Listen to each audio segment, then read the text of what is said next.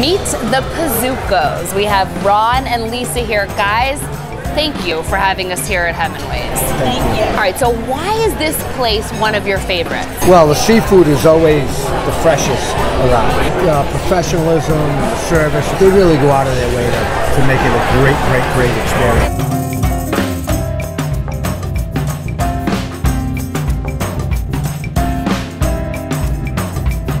Guys sometimes come here together, but you also do business here. Absolutely. I have my, I actually have my company Christmas party here. Okay, so this is a place to party, apparently. All right, so it's a, it's a big menu, right? I mean, so there's a lot of options Yeah, to but choose it's very from. easy. This is actually what we always get when we come. Really? Yes. Okay, so Ron, do you? I know that you're a, a contractor, a general contractor, but do you second as a television host? Because you seem pretty I do. here. I do. I do. I mean, I practice that. I mean, Billy, watch out, dude, because Ron knows that. the sound bites here, right?